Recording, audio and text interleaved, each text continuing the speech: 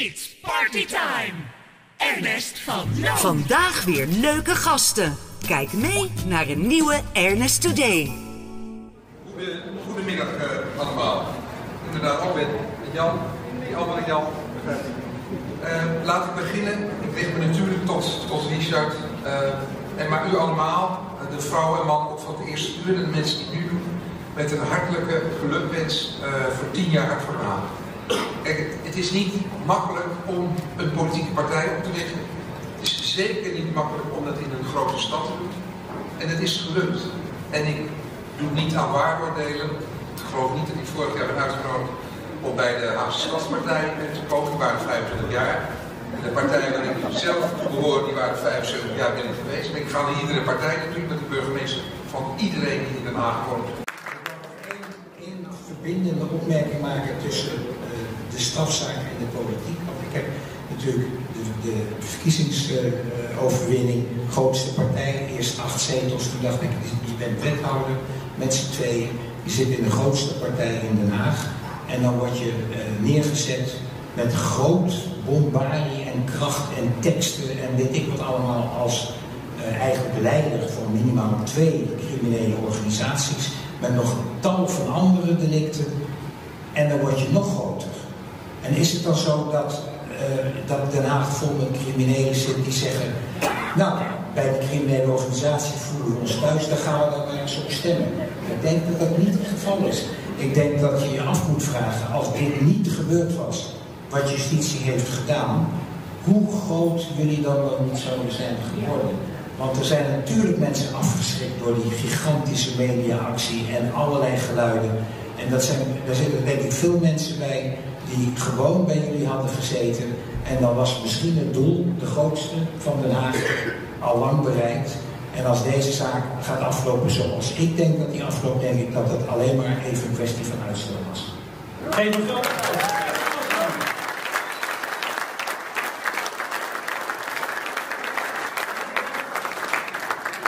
Toen ik mijn partijtje begon, dat toen helemaal niks was, Belang van Nederland, dan dacht ik, ja, ik moet wel kwaliteit erbij hebben. En ik heb een persvoorlichter nodig die het klappen van de zweep kent. Ja, dus ik denk, ik bel Richard. Richard had mij eerder gebeld voor Code Oranje. Toen heb ik, heb ik nee gezegd, maar ja, gelukkig was hij de enige die wel ja zei tegen mij. Ja, want dat is uiteindelijk hoe jullie bij elkaar een beetje gekomen zijn, toch? Nou, we, vervolgen elkaar natuurlijk wel langer, want ja, qua jongens die vinden elkaar wel leuk. En Richard heeft humor, ik niet, dus ik kopieer af en toe. En dan wordt er gelachen.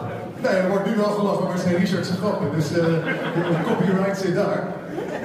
Nee, maar het is natuurlijk gewoon echt belangrijk om, als je een partij opstart, eh, mensen te hebben die kwaliteit bieden. En Richard doet dat. Eh, wij hebben inmiddels ook 6400 eh, leden. Nou, jij, weet er alles van. Maar ja, als ik Richard zie met zijn bustour en met zijn campagne, ja, dat is wel something else.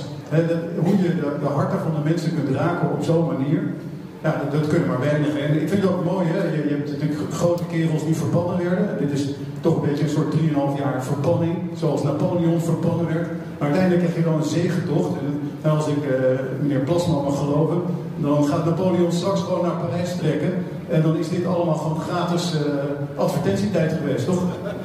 Ja, nee, nee, nee, zo het ook zien. En dat is, eh, dat is ook de positieve kant, eh, ja, hoe, eh, hoe Bank van Nederland er ook in staat. Eh, Een beetje humor, een beetje zelfrelativering een beetje zelfspot. Zaterdag schreef ik vrijdag eh, in de Telegraaf sta ik in de Uithof op het podium. Nou, dat klopt. Op een bijeenkomst voor Hart voor Den Haag, de partij. En toen schreef ik van de corrupte schurk Richard Mos.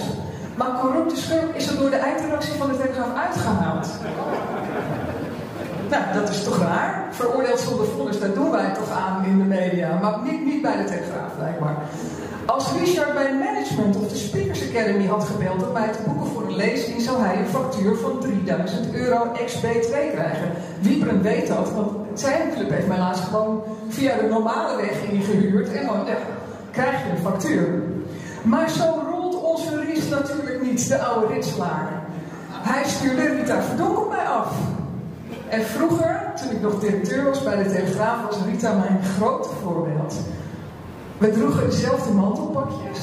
Dat oranje mantelpakje met zo'n klein groen ruitje erin. Jij had hem en ik had hem ook. En ik had ook, ik liet mijn haar wat donkerder verven en ik had jouw kapsel, want ik wilde gewoon op jou eh, lijken. Rita benaderde mij en zei vleemde iets over sterke vrouwen die elkaar moeten steunen. En toen had ik al ja gezegd tegen mijn gratis optreden hier.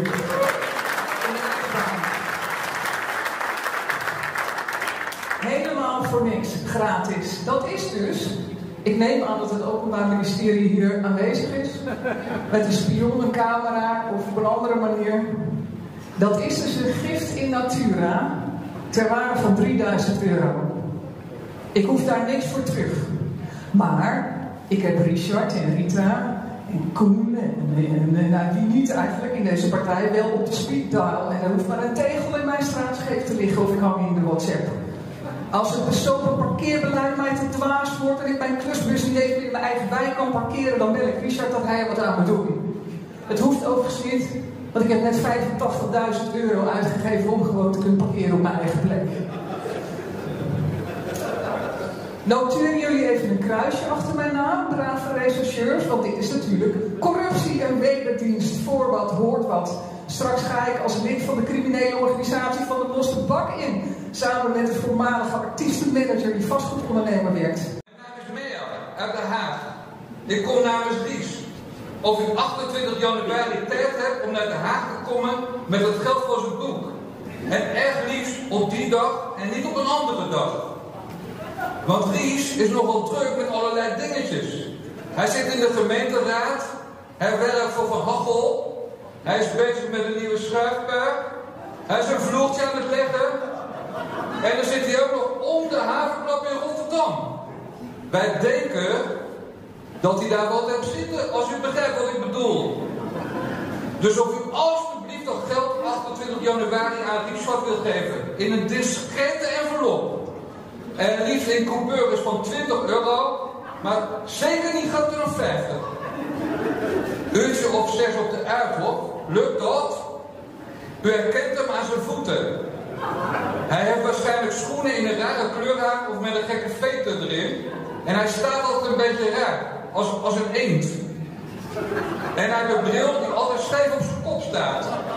En een heel klein mondje met altijd zo'n natte onderlip.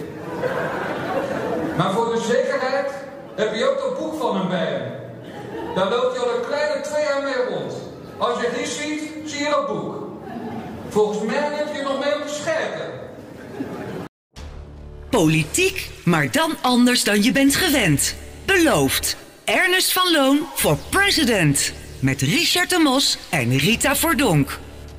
Samen naar de dubbele cijfers bij een volgende verkiezing. Samen alles op alles om onze mooie stad weer te besturen. Ik heb er zin aan. Ik hoop jullie ook. Dank jullie wel.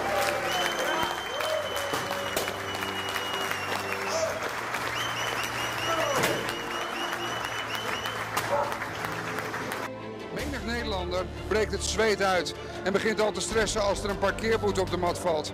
Maar wat als je beschuldigd wordt van corruptie? Je huis en je kantoor binnengevallen wordt en je vrienden worden afgeluisterd. Veel mensen zouden het zweet uitbreken en anderen die eh, worden helemaal gek.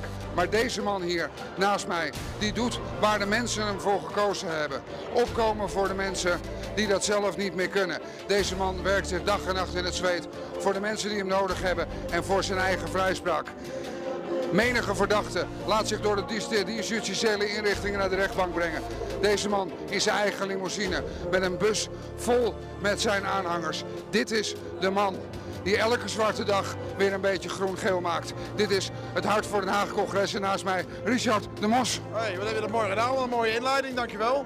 Dankjewel, hoe is het met jou vandaag? Eh, nou, vandaag is heel goed. Ik ben natuurlijk heel blij dat er zoveel mensen hebben die, eh, die achter ons staan, die naar ons partijcongres zijn gekomen.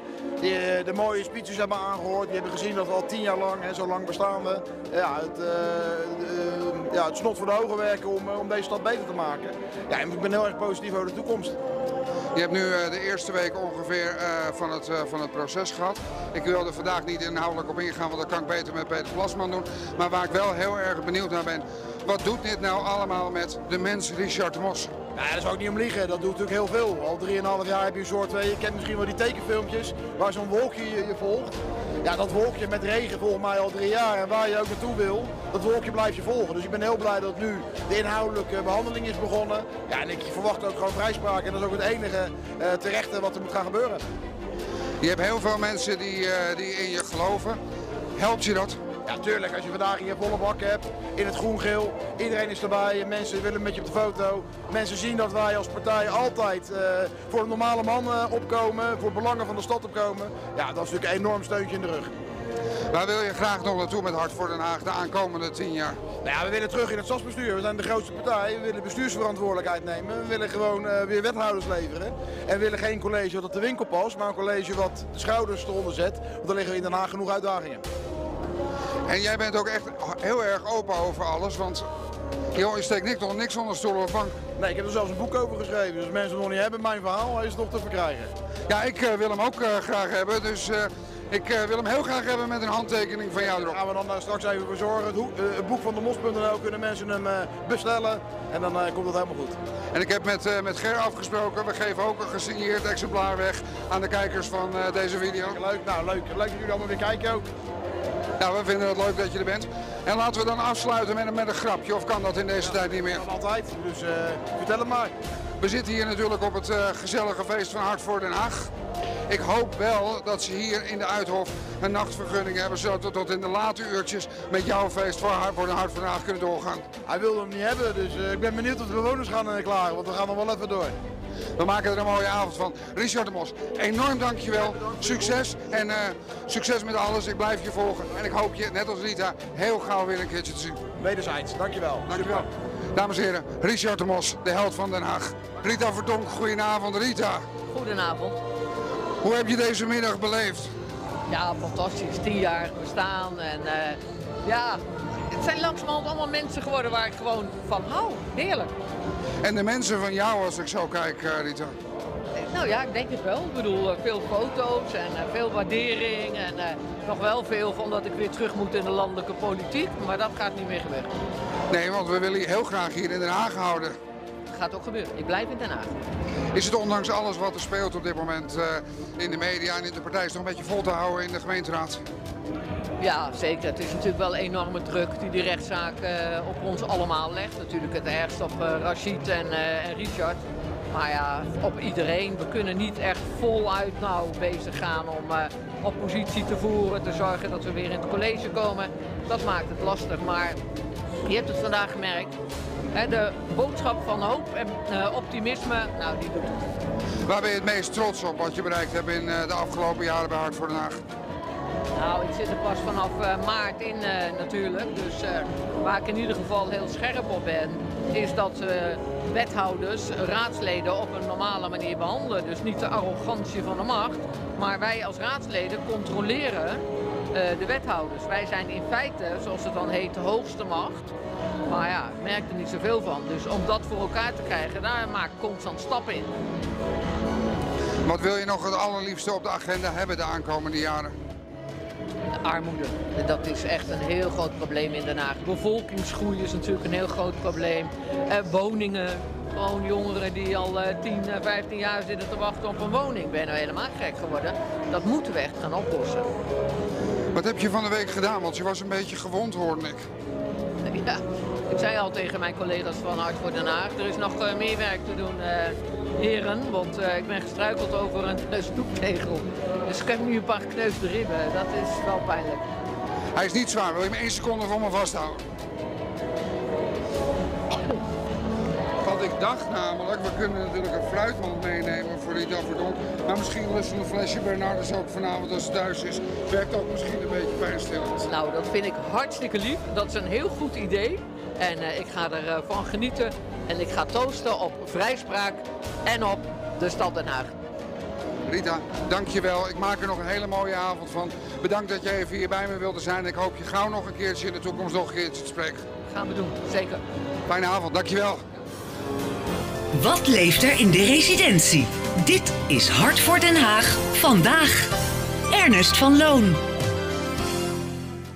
Meneer Van Zanen, een hele goede middag. Hoe is het met u? U heeft net als uh, VVD'er gespeecht op het uh, congres van Hart voor Den Haag. Hoe was dat? Nou ik, ik heb gewoon, uh, ik ben burgemeester van alle, alle partijen. Hè? En ze hadden me uitgenodigd. Wil je komen? Wil je iets zeggen? Dat heb ik gedaan. Ik heb drie dingen gezegd. Natuurlijk, ze gefeliciteerd. In de tweede plaats gezegd van, weet je, lokale politiek is toch eigenlijk het meest concreet. En ik heb me er altijd heel erg uh, senang ingevonden. Ik heb het altijd fijn gevonden om lokaal actief te zijn. Omdat je bij wijze van spreken door je problemen en oplossingen fietst of wandelt. En in de derde plaats heb ik gezegd, nou ja, en lokale politieke partijen hebben net als de gevestigde politieke partijen uh, een grote rol en betekenis en doen het allemaal op een eigen manier. En dat heeft een waarde en die lijkt mij heel belangrijk, ook voor Den Haag. Meneer Van Zanen, wat maakt een goede burgemeester een goede burgemeester? Geen idee, gewoon je best doen. Zou u nog iets willen zeggen tegen, tegen de inwoners van Den Haag die naar deze video zitten te kijken? Uh, hou vol, Den Haag is een prachtige stad. Geniet ervan en wat ben ik trots om in Den Haag burgemeester te zijn. En mag ik zeggen dat u naar Utrecht, dat ik blij ben dat u de burgemeester van Den Haag geworden bent en dat ik het fijn vind om u als burgemeester te hebben. Dank u wel. Dag hoor. Even een fijne dag. Graag gedaan. Dag. Naast mij staat de advocaat van uh, Richard Mos, meester Peter Plasman. Een hele goede avond. Goedenavond. Allereerst, hoe heeft u deze middag beleefd? Want u komt net uh, vanuit het uh, partijcongres van Hart voor Den Haag. Nou, ik vond het uh, geweldig. De manier waarop mensen achter de partij staan. En de, hoe de hele partij in elkaar zit. En de, de, verschillende sprekers. Hartverwarmend. We hebben het net, uh, ik heb het net met Richard even gehad over uh, hoe hij zich persoonlijk voelt bij alles wat er gebeurt. Hoe uniek is deze zaak voor Nederland? Want dat is wel een vraag die ik bij u kwijt kan. Nou, deze zaak is geduid als de grootste corruptiezaak ooit. Dat maakt hem per definitie uniek. Eigenlijk is elke strafzaak uniek, want het gaat altijd om andere mensen en andere beschuldigingen. Maar deze springt er wel uit. Het is voor mij in ieder geval een van de meest opmerkelijke zaken die ik ooit heb. Ja, want hoe lang moeten we nog op het grote moment wachten? Ergens in maart.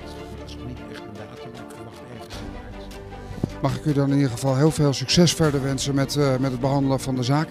Bedankt voor uw tijd en ik, uh, ik blijf u volgen. Goede reis naar huis, meester Pasman. Dank u wel en tot ziens. Tot ziens. Prettige avond, bedankt. Wat heb je een mooie speech gehouden, joh. Dank je wel. Ja, het was kleine moeite, moet ik zeggen. Uit het hart. Is het nou zo tegenwoordig dat uh, op het moment dat mensen een briefje van jou krijgen, ze zich aangevallen voelen? Of hoor je er tegenwoordig niet meer bij zonder een briefje van Jan? Wel een beetje waar, hè? Ja, als je geen briefje van Jan hebt gekregen, dan ben je wel heel grijs en grauw en saai. En, uh... Nee, maar voor dolle, ik doe echt af en toe mijn best om een positief briefje te schrijven. En ik denk dat hier ook wel positief was, maar dat is natuurlijk op verzoek van Richard dat ik hier ben. Maar ja, het is gewoon kloot in het land. Dus, dus als ik dan elke dag naar onderwerpen zoek, zoek dan denk ik, ik kan wel doen alsof er een goed nieuwsshow aan de hand is, maar dat is helemaal niet zo. Landelijk niet, internationaal niet, lokaal niet, zoals hier in Den Haag. Dus er is uh, weinig reden tot optimisme helaas. En aan de andere kant, als ik een positief briefje schrijf, is kost me ook lezers. Mensen vreten het wel, moet ik eerlijk zeggen. Neem je mobiel gewoon lekker mee. En luister en kijk, ook onderweg, naar Ernest Today.